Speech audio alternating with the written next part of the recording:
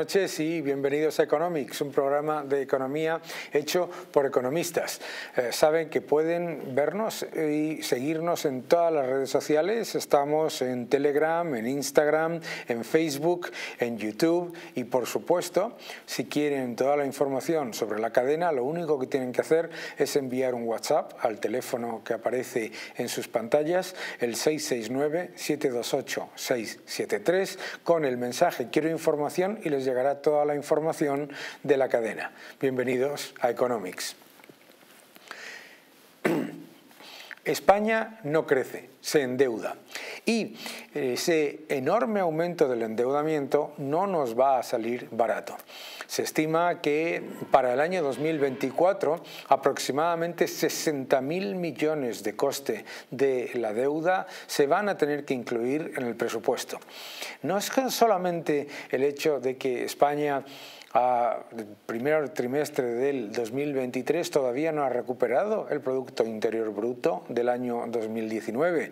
La AIREF estima que será eh, con los datos de mayo cuando España recupere el PIB de 2019. Pero ojo, en esto el gobierno no ha tenido absolutamente nada de responsabilidad en lo positivo, porque si el turismo se ha recuperado, es lo que ha hecho fundamentalmente que el Producto Interior Bruto rebote a niveles del año 2019.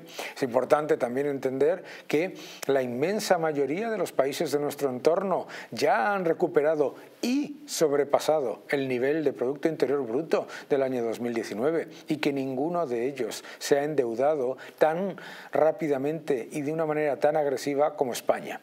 Por lo tanto, España rebota al mismo nivel donde estaba en el año 2019 con más de 300.000 millones adicionales de deuda pública, que significa un aumento de 8 euros de deuda pública por cada euro de Producto Interior Bruto que se ha recuperado.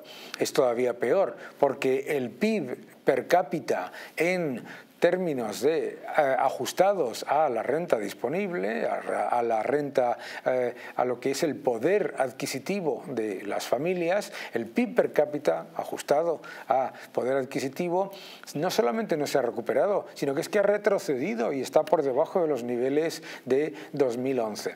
Esto es importante entenderlo con respecto al resto de la Unión Europea. Estamos perdiendo posiciones con respecto a la Unión Europea. Recuperar el Producto Interior Bruto de 2019, gracias al eh, inestimable apoyo del turismo y a la absoluta admirable recuperación de las pequeñas y medianas empresas, no se le puede decir que sea gracias a un gobierno que lo único que ha hecho ha sido expoliar a impuestos y multiplicar el gasto político. España, por lo tanto, sigue con una recuperación pobre que la Comisión Europea haya revisado ligeramente al alza los datos de PIB del año 2023 no significa que sea una buena noticia para España porque sigue siendo de las que van más retrasadas en recuperación y además porque es una recuperación que está aumentándose también las estimaciones para el resto de la Unión Europea. Una Unión Europea, por otro lado, que tampoco es un ejemplo del mundo porque parece muchas veces como si no existiese otra cosa que es que la inmensísima mayoría de los países de nuestro eh, mundo han recuperado el Producto Interior Bruto del año 2019 hace muchos años. Hace muchos años que se ha olvidado todo esto de la eh, recuperación de la pandemia, etcétera, y eh, lo que nos deja este gobierno es empobrecimiento, menor PIB per cápita ajustado por poder adquisitivo, nos deja mucha más deuda, prácticamente un 150%, incluyendo todos los pasivos de las administraciones públicas, y además una recuperación que es de las peores de nuestro entorno. Eh, por lo tanto, cuando digan que España es de los países que más crece de la Unión Europea, que no te engañen, que no te engañen porque lo que está pasando con España es que no crece, la endeudan. Vamos a un corte y seguimos hablando en Economics.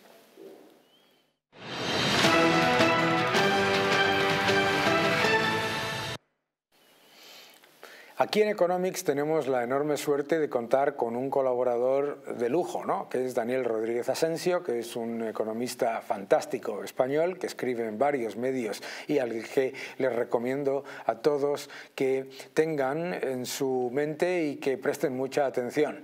Eh, Daniel ha hecho varios análisis muy interesantes sobre la economía española y lo que está ocurriendo de cara a las elecciones con la economía de la Comunidad de Madrid. ¿Cómo estás, Daniel? Hola Daniel, un placer estar aquí contigo de nuevo. Ya sabes que estás en tu casa.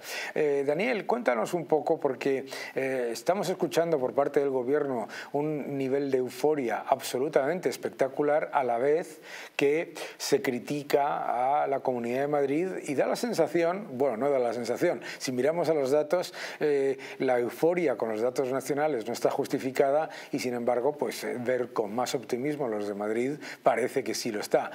¿Cómo lo ves Bueno, eh, lo has explicado muy bien. A mí me hace mucha gracia, ¿no? Cuando el gobierno habla de motor, de estamos en liderazgo económico europeo, no sé qué, por, un dato de, crecimiento que es un rebote, yo siempre digo lo mismo. que no sabes quién es nuestro homólogo en, Sudamérica, en Hispanoamérica? ¿Eh? Venezuela, Venezuela es el país que más crece de toda, bueno, claro. Sudamérica. ¿Por qué? Porque viene de, la absoluta pobreza. Entonces, según el Fondo Monetario Internacional, es el que más crece y el que más va a crecer en los próximos años. Bien, pues eso es España, ¿no?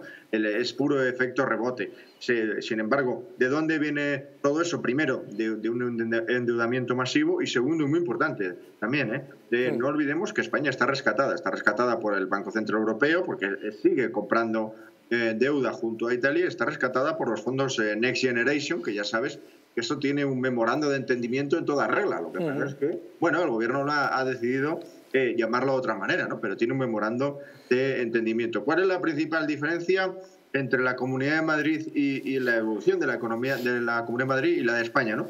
Pues bueno, eh, Sánchez ha subido 42 impuestos, Ayuso ha bajado 20, eh, Sánchez está, eh, es el país que más endeuda de toda la Unión Europea, la Comunidad de Madrid tiene el ratio de endeudamiento más bajo de toda España y sigue reduciendo deuda.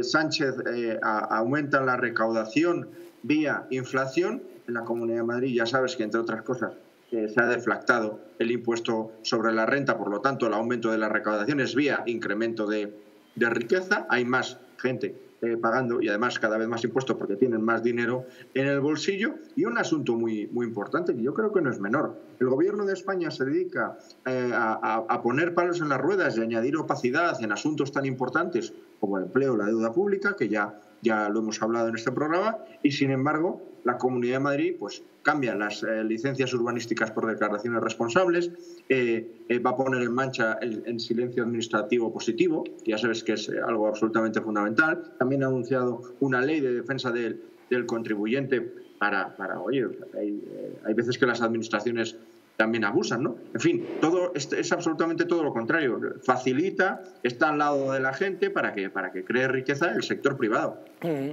Cuando hablabas de eh, la ley de silencio administrativo, mucha gente no entiende qué significa eso y la importancia que tiene. Silencio administrativo significa que la Comunidad de Madrid, si una empresa tiene una licencia o ha llevado a cabo ya el proceso de eh, pedir los requisitos administrativos para montar su negocio en otra comunidad y ya los tiene aprobados, no necesita volver a pedirlos todos para eh, establecerse también en la Comunidad de Madrid. Yo creo que eso es absolutamente clave, ¿verdad? En un país que tiene 17 eh, batiburrillos administrativos por todos lados, ¿no? Es absolutamente fundamental.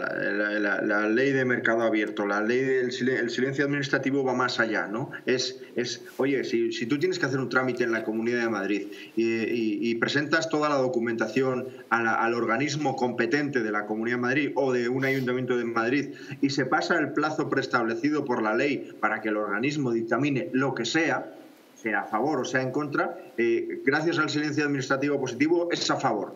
Eh, digamos que, la Administración confía en que lo que tú has presentado significa que cumples todos los requisitos.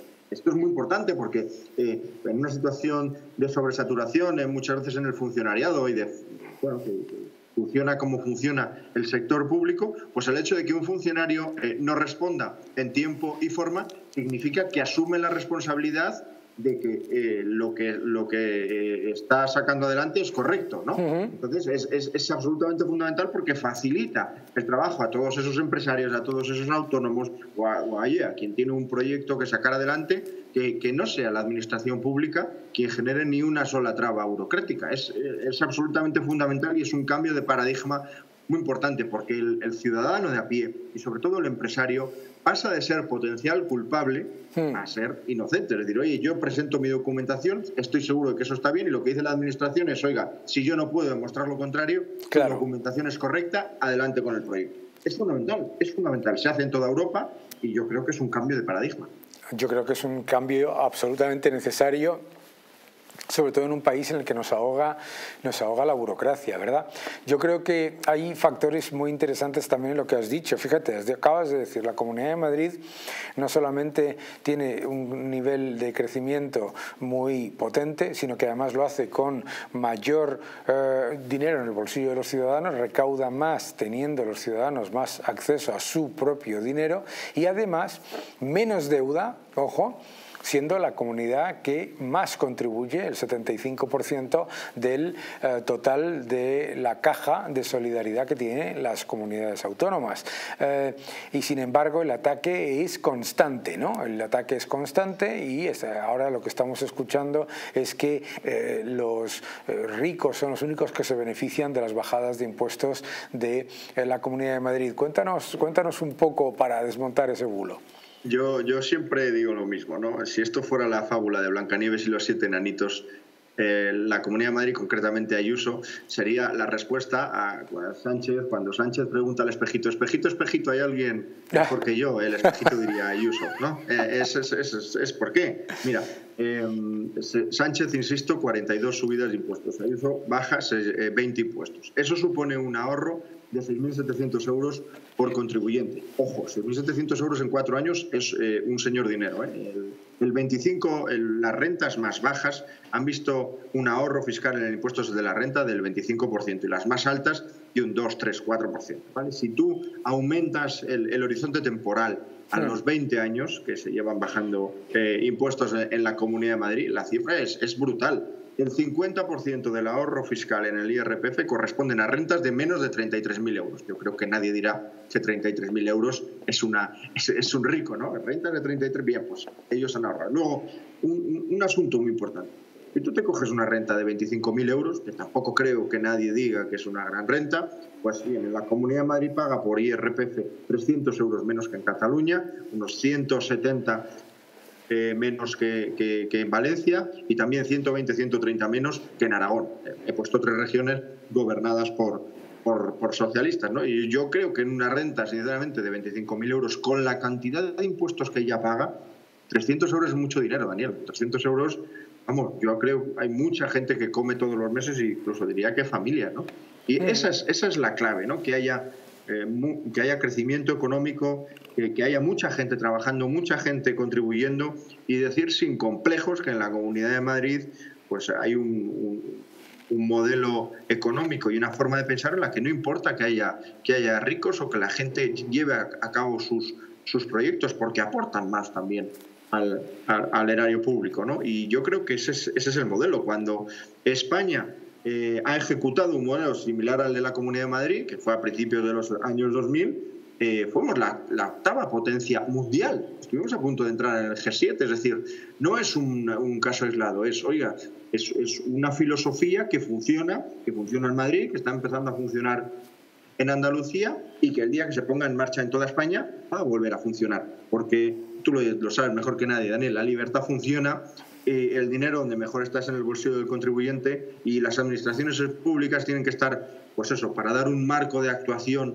sea eh, pequeño pero efectivo y unos servicios públicos que funcionen. ¿no? Ahora ya sabes que el, el sector público es el 52% del Producto Interior Bruto y eso no solo es un freno a la inversión y a la actividad económica, sino que también pues, es un nido de corrupción, de malas prácticas y de, en fin, cosas que vemos todos los días en los periódicos con cargo al, gobierno de Sánchez y que no nos gusta a nadie.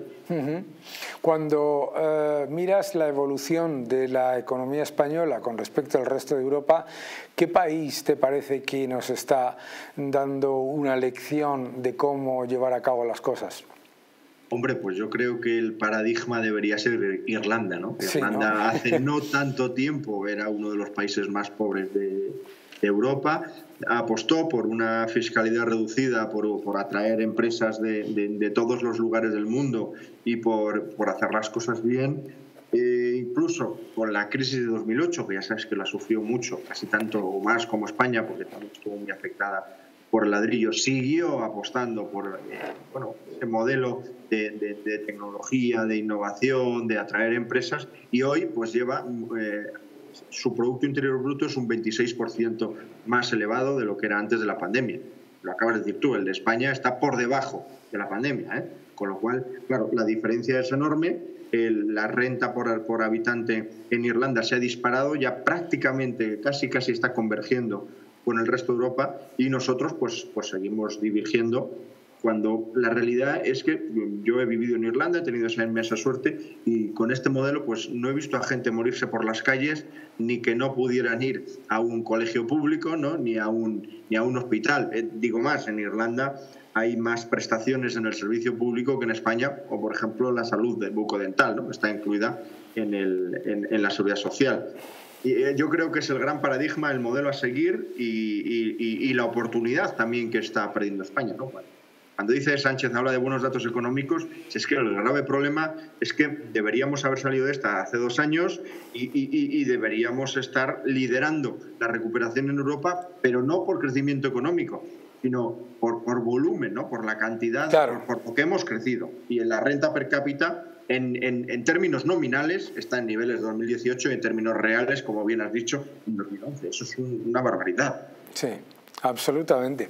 Muchísimas gracias, Daniel. Un gusto, como siempre, hablar contigo. Gracias por venir a Economics y ya sabes que estás en tu casa. Siempre que queráis. Un fuerte abrazo, Daniel. Gracias a ti. Un fuerte abrazo. Vamos a un corte rápido y seguimos.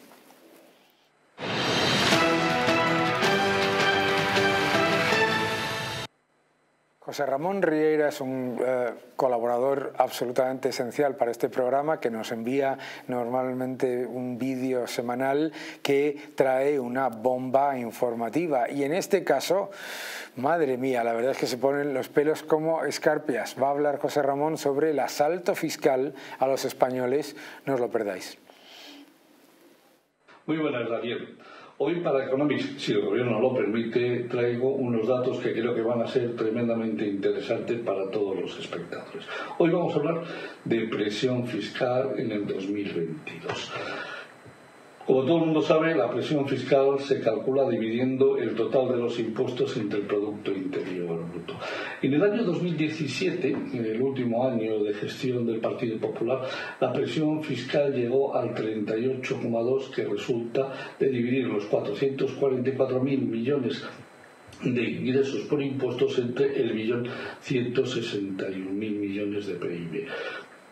El año 2019, que es el primer año auténticamente de gestión del socialismo y el comunismo, eh, los ingresos, el Producto Interior Bruto fue de 1.244.000 millones, que es el máximo que se ha alcanzado hasta ahora en la historia de nuestro país, y los ingresos por impuestos fueron de 488.500 millones, lo que da una presión fiscal del 39,2%. Si pasamos a la pandemia, nos encontramos que el año 2020 la presión fiscal se va hasta el 41,7 debido fundamentalmente a dos motivos.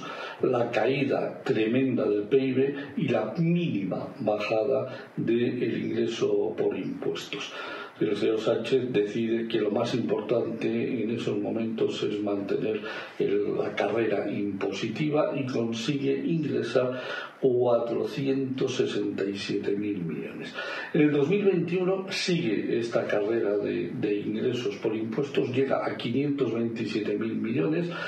El PIB está todavía muy por debajo del billón 244 y se queda en un billón 205 mil millones y por lo tanto la presión fiscal sube hasta el 43,8.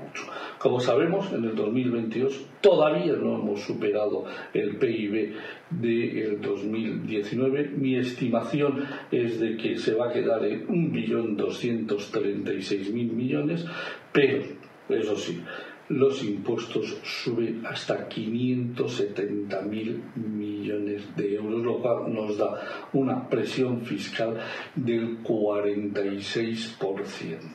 ¿Esto qué quiere decir?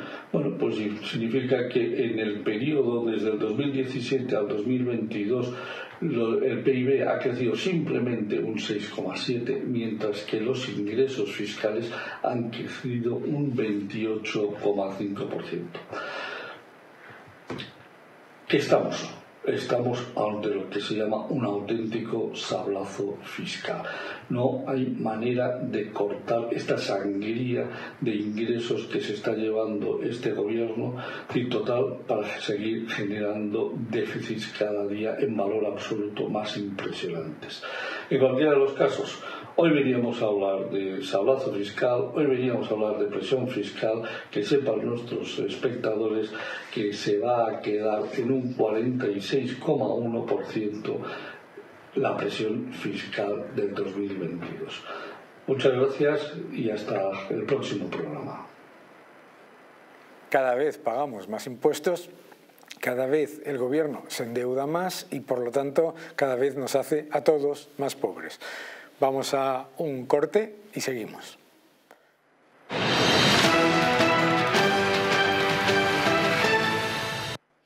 En este programa de vez en cuando tenemos la oportunidad de charlar con Adrián Mora, que siempre nos da una visión eh, muy particular y muy interesante sobre el mercado y la política monetaria. En esta ocasión nos ha enviado un vídeo en el que nos explica los principales riesgos para los mercados de los cambios en la política monetaria. Eh, vamos a ver este, este comentario. Seguimos teniendo un problema de inflación. Los últimos datos de de la zona euro nos muestran una inflación del 7% y de un 5,25% para la subyacente, que como ya sabemos es la que excluye la energía y los alimentos.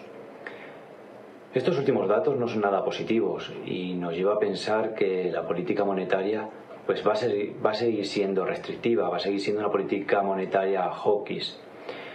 La última subida ha sido 25 puntos básicos por parte del Banco Central Europeo, situando el tipo de referencia en el 3,75%.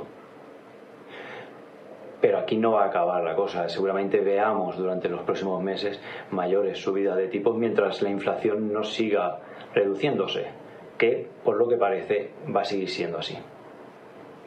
Y uno debe de pensar qué tipo de efectos puede traer a nuestra economía este tipo de políticas. En un principio, si observamos las bolsas, el Eurostock 50, el Eurostock 50 no muestra eh, signos de fatiga, aún se mantiene por encima de los 4.300 puntos, que es realmente positivo viendo el entorno en el que nos movemos. Por tanto, yo creo que debemos focalizarnos en otro mercado que en mi, en mi opinión sería el mercado inmobiliario, y en otros sectores como sería el sector bancario, el sector financiero. Eh, al final afecta de manera súper directa, muy directa, la subida de tipos en el mercado inmobiliario. Los últimos datos reflejan una caída de la demanda en, pues, en la concesión de, préstamos hipotecarios, en la demanda de préstamos hipotecarios. Esto puede hacer que la demanda de compra-venta de viviendas eh, se vea muy afectado y por tanto también se vea muy afectado el sector bancario financiero, el sector bancario que también está siendo bastante restrictivo en la concesión de créditos, como no podemos pensar de otra manera, es decir, si hay subida de tipos, las restricciones se van a ver y se están viendo, de hecho, y seguramente se van a seguir viendo mayores restricciones en los próximos meses con, con las siguientes subidas de tipos. Por tanto, creo que debemos focalizarnos en esos, en esos dos eh, mercado, el mercado bancario, mercado sector bancario y en el mercado inmobiliario, que como sabemos, en el caso, por ejemplo, español, es un mercado bastante importante, lo ha sido en los últimos años eh, un mercado bastante importante, y en el mercado europeo también este, está siendo importante. Entonces, eh, vamos a fijarnos en eso, vamos a fijarnos en los bancos cuyo negocio es la concesión de préstamos y, tendremos que tener la, vista puesta en cómo se ven afectados las próximas, los bancos con la, subida, la próxima subida de tipos. Las subidas de tipos son una realidad y debemos prestarle mucha atención porque hay muchos sectores que están muy afectados por esa subida de tipos que es inevitable con este nivel de inflación. Vamos a unos mensajes de publicidad esenciales, no se los pierdan, y a la vuelta vamos a hablar de paro y además con una de las personas que más sabe de empleo de toda España.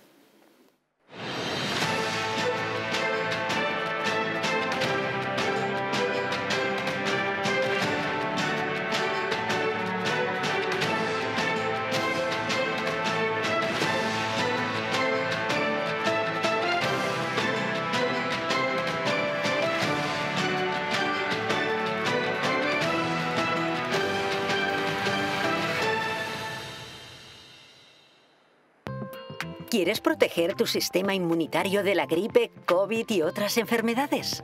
Inmunad Z es un complemento elaborado con zinc y base de vitaminas C1, B6 y D3 que permiten aumentar las defensas y mejorar las respuestas del sistema inmunitario. Además, posee antioxidantes que reducen el envejecimiento y mejoran el estado de ánimo. Con Inmunad Z, las defensas al poder. Acércate a tu tienda más cercana o visita la web naturhaus.es. Naturhaus es el mejor método para perder peso de forma saludable y sin pasar hambre. Desde la primera visita, una asesora te enseñará a cambiar tus hábitos hasta alcanzar tu peso perfecto. Lo conseguirás gracias a complementos alimenticios a base de extractos naturales y platos deliciosos. Apúntate ya en tu centro Naturhaus más cercano y online a través de naturhaus.es.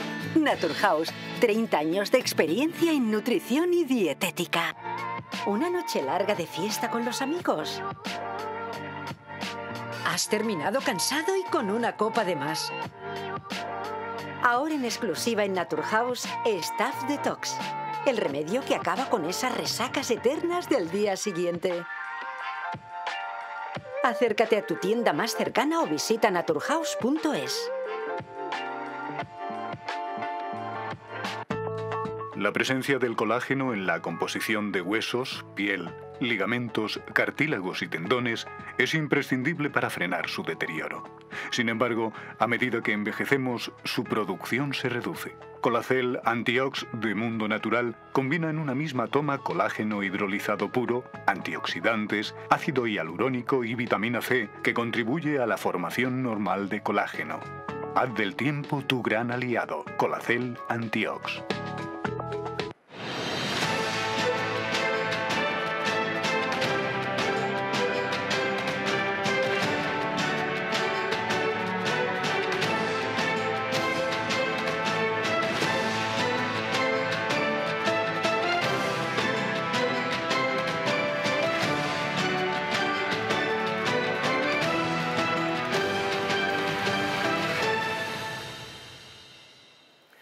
Bienvenidos de nuevo a Economics y vamos a ver nuestros tres gráficos de la semana, empezando por la situación de la economía norteamericana. La verdad es que si lo vemos desde España o desde Latinoamérica, la situación de la economía norteamericana es envidiable. Un paro del 3,5%, un crecimiento que se moverá entre el 1,2 y el 2% en el año 2023, pero ojo, después de haber recuperado hace mucho tiempo el PIB del año 2019.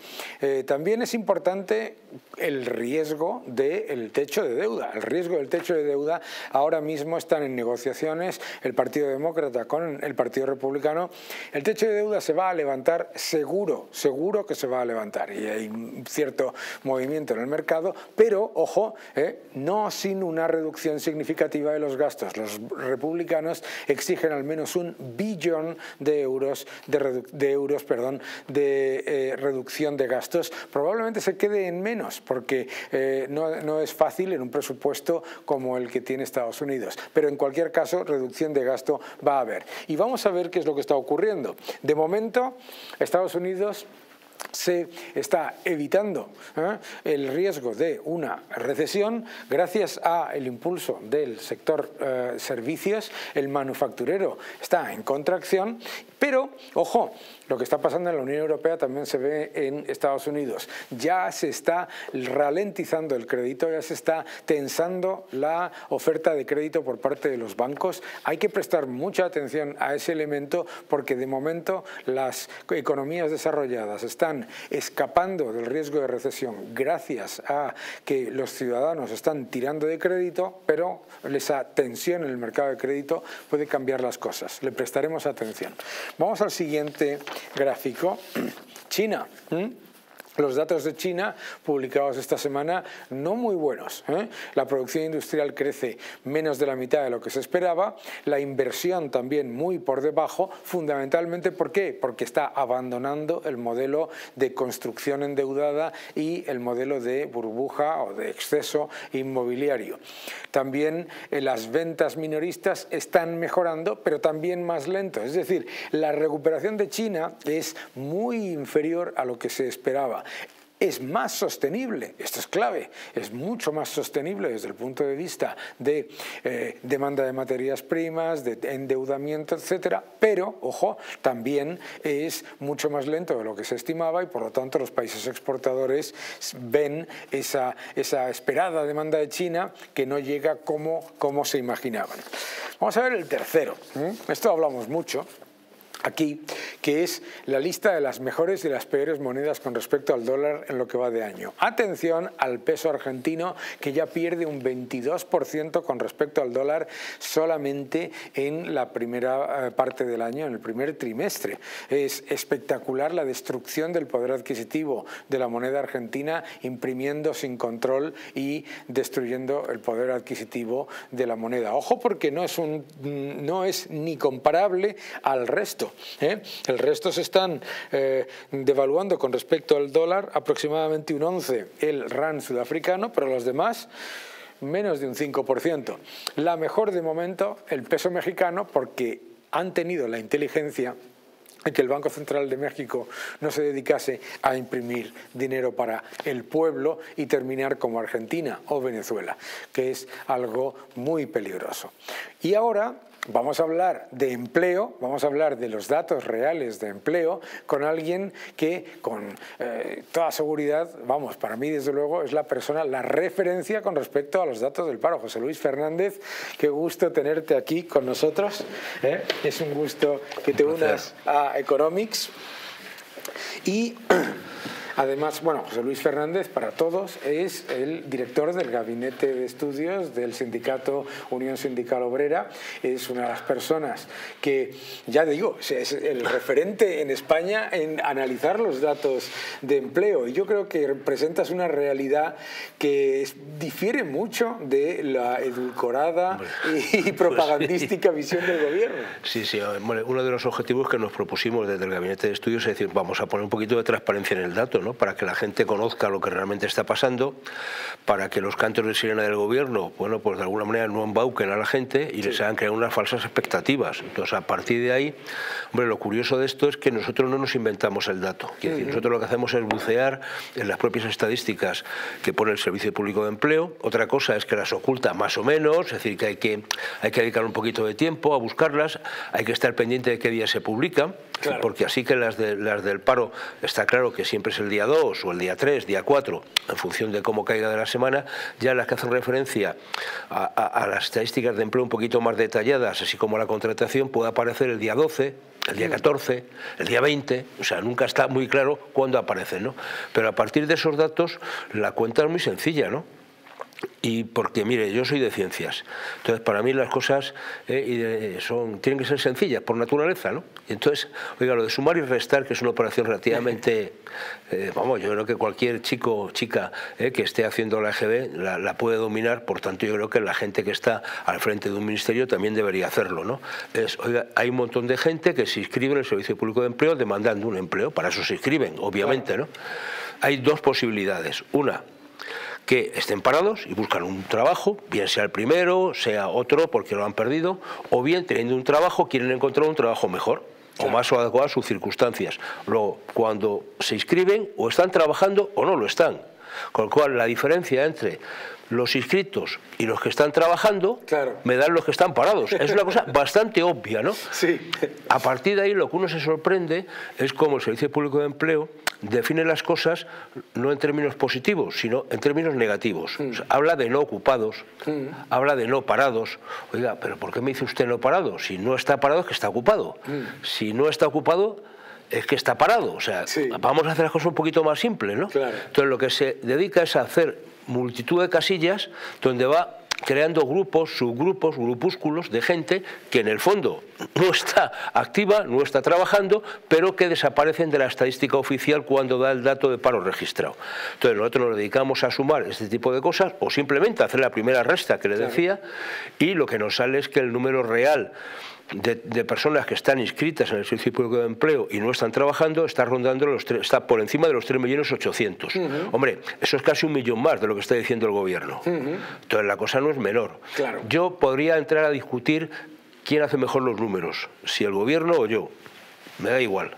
O sea, a mí lo que me importa son las personas. O sea, si yo me dedico y la uso lo dedicamos al mundo sindical es pensando en la gente que necesita una actividad económica, que necesita un trabajo, y si ese millón de personas el gobierno no lo contabiliza, no estará poniendo recursos adecuados para que salgan de esa situación. y eh, esa es la clave, ¿no? Eh, ¿A qué dedicamos el dinero? Claro.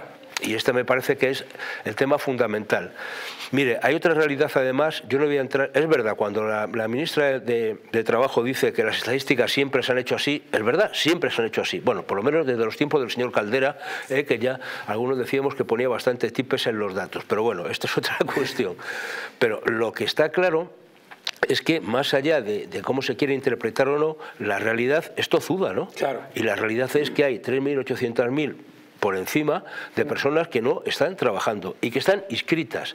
Ahí hay una distorsión potente fruto de la reforma laboral, que es la situación de los fijos discontinuos. Los fijos discontinuos no es un invento de este gobierno, era preexistente. Lo que es un invento de la reforma laboral es la desaparición del contrato por obra y servicio, que era un contrato eventual que yo creo que en muchos casos se abusaba indebidamente de él, y parte de ese contenido lo ha llevado al contrato de fijos discontinuos. Con lo cual, cuando antes había 50.000 fijos discontinuos, pues ahora hay medio millón. Claro, entonces esto distorsiona la realidad. O sea, a la hora de contar, y no es lo mismo que tengamos un millón de personas fijos discontinuos ahora mismo trabajando, das de alta en la seguridad social trabajando, a que tengamos 100.000. O sea, es que no, no tiene nada que ver. Los datos se distorsionan bastante. Porque, claro, tan fijo discontinuo y tan contrato indefinido es el que trabaja nueve meses al año como el que trabaja un mes al año. Claro.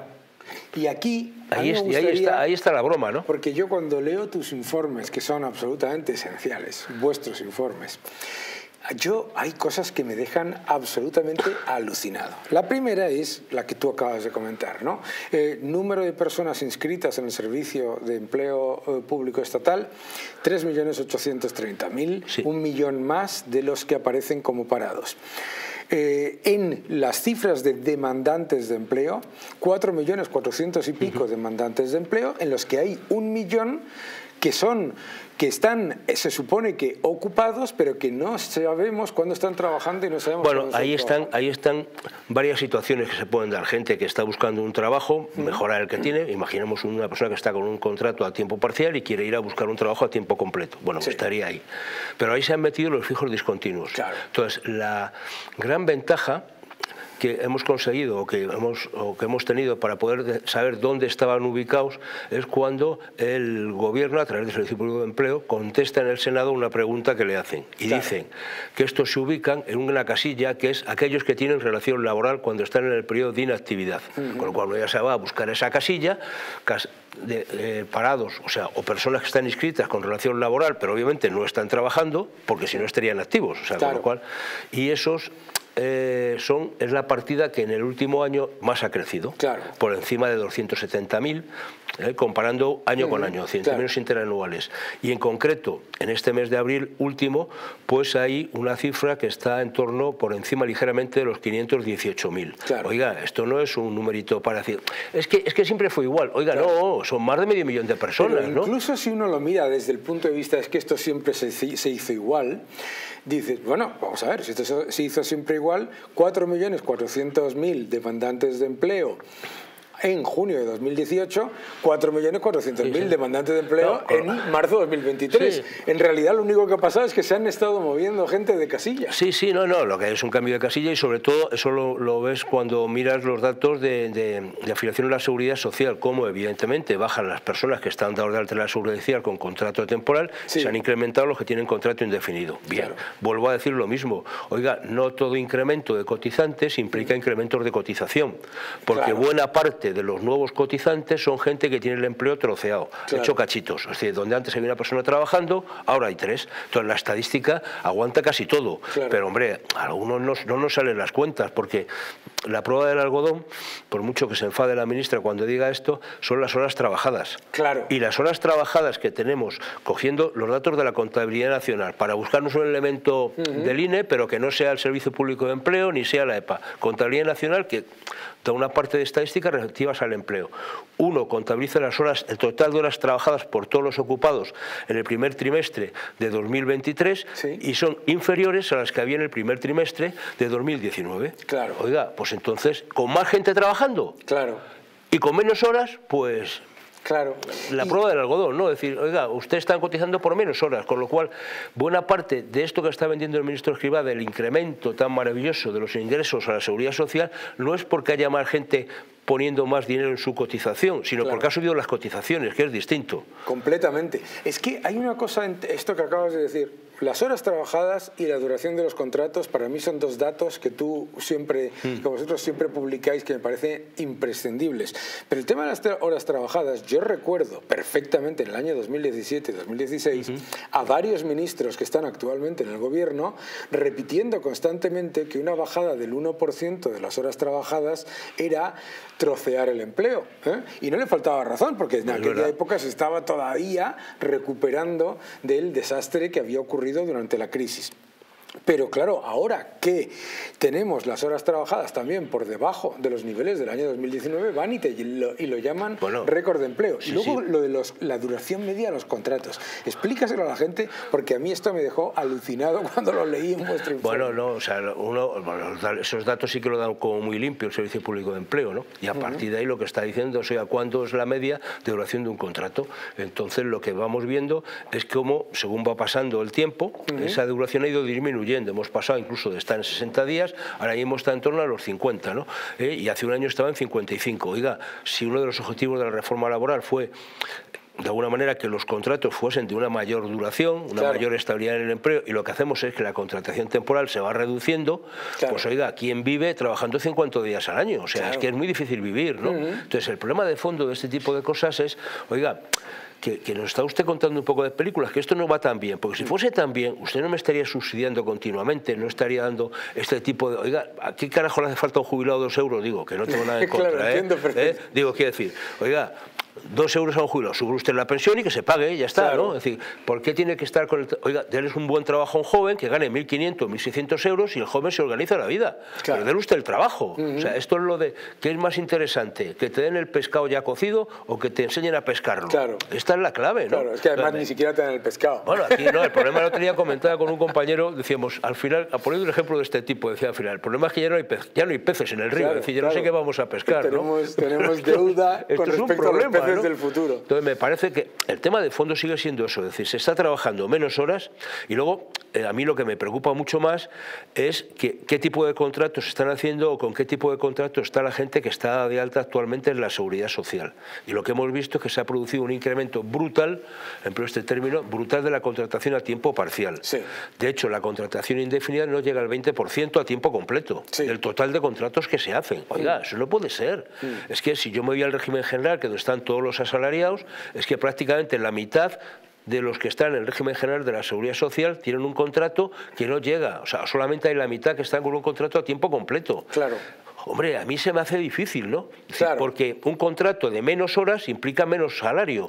Si el salario más común en España está en torno a lo más 1.400, por ahí, salario bruto, quiere decir, si yo trabajo media jornada, mis salarios son 700. Claro. Y con eso, como pago la hipoteca, el colegio de los niños, oiga, ¿qué hago? Pluriempleo, claro. Claro, pluriempleo, porque mostraba en uno de tus informes 16 millones de contratos para medio millón de nuevos afiliados. Bueno, sale a casi 30, 28, 29, sí, 28 contratos por afiliado nuevo. Al año, o sea, eso quiere decir que estás haciendo al menos dos contratos al mes, por lo menos. Claro, bueno, esto de los fijos discontinuos, por ejemplo, yo lo comentaba siempre, yo que colaboro con varios medios de comunicación, yo soy cuatro fijos discontinuos.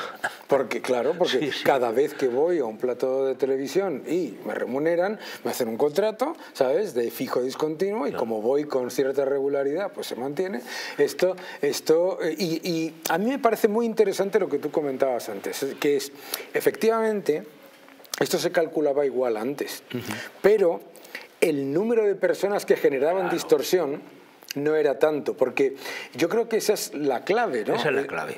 Que, que no es lo mismo que, porque yo recuerdo, por ejemplo, en el año 2016, como uno de los sindicatos mayoritarios decía, y con razón, que 40.000 fijos discontinuos era una manera de, de precarizar, el empleo. Pues cierto, de acuerdo, bien, pero claro, cuando son 10 veces más, Claro, pero el tema de los fijos discontinuos no, no solamente 10 más, o sea, es que estamos rondando, hay un millón de personas de alta, que fijos discontinuos, que, que, están en actividad. Sí. A eso ponle otro medio millón que no lo están. Es decir, que el mm. volumen de fijos discontinuos con los que nos estamos moviendo estamos en torno a un millón y medio. Millón y medio. Otra ¿eh? cuestión es que haya como un millón en activo y medio millón inactivos, que ahora como llega el verano, parte de estos inactivos se pondrán en actividad, lógicamente. Nosotros siempre hemos hecho un seguimiento para este tema, históricamente, fíjate, por el tema de las pensiones, curiosamente, ¿no? en Baleares, mm. porque tenemos una buena afiliación, una buena base electoral allí desde el punto de vista sindical, sobre todo en el sector también de la hostelería. Y Baleares se da el dato curioso de que hay más, demandantes, perdón, hay más desempleados cobrando la prestación por desempleo que parados registrados. Bueno, siempre ha sido así, o sea, vale, yo eso lo compro, pero claro, los volúmenes ahora mismo son, notablemente mayores que entonces, ¿no? Siempre ha sido así, ¿por qué? Precisamente por los fijos discontinuos. Claro. La gente de Baleares sabe que tiene que trabajar nueve meses, diez meses, en función de cómo vaya la temporada, porque hay dos meses o tres que no hay actividad en Baleares, no la hay, o sea, es que no hay industria, no hay nada, o sea, es el turismo puro y duro. Entonces es el paradigma del fijo discontinuo, más allá que otro tipo de actividades relacionadas con el campo, con las conservas, es decir, que son habituales, o sea, que puede ser un contrato estupendo, que nosotros, yo no tengo nada, ni la uso tiene nada en contra del contrato de fijo discontinuo. No, no, no, no, nada. Es un contrato incluso que puede ser estable, fenomenal, etc. yo creo que nadie tiene en contra... El problema es cuando está haciendo un uso queremos un poco eh, torticero. hay un tema que a nosotros nos preocupa mucho y esto es aviso para navegantes. Me refiero a, mis amigos, los primos de Zumosol, que yo llamo cariñosamente a UGT y comisiones. Eh, hemos visto que han firmado ya algún convenio donde dan la posibilidad de que un contrato, fijo, un contrato indefinido ordinario se transforme en un contrato fijo discontinuo. ¿Esto qué quiere decir? Yo no quiero ser mal pensado, pero que cuando llegue un periodo de inactividad o de baja actividad en la empresa, ya no tendremos que negociar un ERE claro. o un ERTE. Claro. Sino directamente... Se va a fijo discontinuo fijo descontinuo, no hay actividad, te vas al desempleo directamente, te vas al paro. Eso quiere decir que no hay negociación de las condiciones. Hombre, habitualmente cuando los sindicatos negociamos un ERTE, siempre negociamos algún complemento salarial, porque lógicamente el desempleo tiene una disminución de retribución respecto a la que tú vienes percibiendo de manera ordinaria. Bueno, ahí son pequeñas cuestiones, es decir, ¿quién se hace cargo de la seguridad social? Cuando hay un ERTE, eh, quien se hace cargo de la seguridad social es el empresario. Si tú te vas al desempleo, quien se hace cargo de la seguridad social trabajado somos nosotros, es decir, el Servicio Público de Empleo. Y nosotros con nuestros impuestos pagamos esa fiesta. Entonces, me parece que es un tema peligroso. No, ojalá sea simplemente un aviso para navegantes, que no pase y simplemente yo sea muy mal pensado. ¿eh? Bueno, pero, pero, en esta vida, desafortunadamente, yo me acuerdo cuando se hicieron los contratos de cero horas en Reino Unido, que mm, ser mal pensado era lo que había que ser, ¿no? porque, pero vamos a poner todo, digamos, eh, eh, resumido, ¿no? 3.800.000 personas que mm, están desempleadas y eh, buscando eh, paradas inscritas, inscritas en, el Servicio Público de Empleo. 3.800.000 personas. Adicionalmente, una reducción media de los contratos que era de 60 días de media a unos 50. 50, incluso algún, algún mes menos, ¿no? Es decir, que estamos en una situación... Adicionalmente, un número de horas trabajadas que está por debajo del número del cuarto trimestre de 2019. Sí, pero fíjate que en, conjunto eso está en torno a las si cogemos el dato desestacionalizado, ¿no? pero en torno a los 68 millones, 70 millones, en ese entorno. ¿no? Si nos vamos a 2008, 2008, es decir, cuando empezó la, gran crisis y potente, es que nos falta más de 900 millones de horas todavía por recuperar. ¿eh? Así que cuando estábamos prácticamente saliendo de la crisis del 2008 nos pegó el leñazo de la crisis del COVID. Claro. Y por tanto, sin habernos recuperado plenamente de una, nos metimos en otra. Claro. Entonces, hombre, me parece que habría que ser, por parte de esto, yo creo que le pido que sea un poquito más prudente. Sí, ser prudente. yo creo que el gran problema. ser prudente y no vendernos. Lo de récord de empleo. A mí lo que me molesta es que se diga récord de empleo y que se pero diga. si es que el mes, el mes anterior o el año anterior el, empleo subió más o bajó menos, es decir, es que los propios datos le contradicen, ¿no? Claro, es, es, Vamos, me parece que es un poco estúpido ese tipo de, afirmaciones tan eufemísticas, ¿no? Porque al final, oiga, ¿seguimos con déficit de la seguridad social? Sí. Entonces... Claro no puede haber récord de, claro, es que no puede haber récord de empleo con, un con, un agujero de la de seguridad social que se ha triplicado a 100.000 millones, ¿verdad? Claro, entonces este tipo de cosas me parece que son muy elementales, ¿no? Entonces a mí me sorprende mucho que una persona teóricamente de la supuesta solvencia del señor Escriba, cuando estaba en la IREF y las recomendaciones que hacía, de repente ahora está haciendo todo lo contrario. sí, a mí nos sorprende a todos. Digo, me parece a mí, digo, sin entrar no sé si es mejor o no, pero desde luego son bastante contradictorias unas con otras, ¿no? Hombre, a mí me molesta mucho como defensor del sistema público de pensiones es que se esté montando bien preguntarme así coloquial, un chiringuito ¿eh? de un fondo público de pensiones para hacer competencia a los fondos privados y en el fondo esto es una cuestión de comisionistas, ¿no? Porque al final quien se va a llevar la comisión por la aportación del fondo son los de siempre. Entonces, hombre, uno ya está cansado, ¿no? Que estas formas de financiación indirectas, directas, etcétera, hombre, pues no, no me parece que sean las más adecuadas, ¿no? Claramente, claramente no lo son. La verdad es que los datos de empleo son, eh, que son clarísimos y yo lo que le recomiendo a todo el mundo es que sigáis al Gabinete de Estudios de Unión Sindical Obrera y a José Luis Fernández en su cuenta de Twitter, y porque los publican, y además lo publican con toda la transparencia, porque el señor Escriba me dijo, es que se inventan los datos, no, son sus datos, son sus datos. Son sus datos. si queréis, otra prueba del algodón de esta, es decir, yo el otro día miré el saldo, ¿no? Digo, el saldo de afiliación a la Seguridad Social, altas que haya habido en el mes de abril, bajas que haya habido en el mes de abril, y un poco por tipos y modalidades de contratación. El saldo fue como algo más 15.800, algo así, ¿no? La diferencia entre altas y bajas. Bueno, eh, el saldo de fijos discontinuos, altas menos bajas, era prácticamente la mitad, cerca de 8.000. Es decir, el 44%, número redondo, 44 con algo, eran fijos discontinuos. Oiga, si el empleo que está creciendo es debido a los fijos discontinuos, algo está distorsionando la realidad de nuestro mercado de trabajo. Esto no es normal. Incuestionable. No es normal que esto funcione así. Es decir, es que lo que tú comentabas que te pasa a ti, lo me lo decía un profesor que daba clase en la universidad. Eh, ahí me han pasado fijo discontinuo. Claro. Pero esto no puede ser. Sí, sí, porque antes me hacían un contrato durante el curso por obra o servicio, y como ya no me lo pueden hacer, me ha dicho fijo discontinuo. Claro, y, tienes tres, cuatro, efectivamente. Pues nada, bien, feliz, ¿no? Y contento, decir que no pasa nada, ¿no? Pero ojo, que ya hemos tenido una sentencia diciendo que en el ámbito universitario, por ejemplo, no se puede hacer contrato de fijo discontinuo. Ah, eso no sé. Luego alguien está haciendo por ahí fraude de ley, pero bueno, esa es otra historia. Eso es, esa es otra historia. Qué gusto hablar con, eh, con José Luis. Mil gracias por, por, mostrarnos la verdad del paro de España y eh, a todos ustedes, pues no puedo hacer otra cosa más que recomendarles que eh, les sigan y que nos veamos la próxima semana. Entre tanto, sigan defendiendo la libertad. Muchísimas gracias.